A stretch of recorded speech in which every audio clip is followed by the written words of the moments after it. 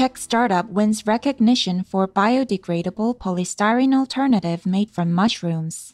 Myco Limited, based in the Czech Republic, manufactures fully biodegradable packaging items made from fungal mycelium and organic waste. Its products can be used in boxes, food packaging, and elsewhere as a direct substitute for polystyrene, a material notorious for being bulky, non-degradable, and a major contributor of microplastics in the environment.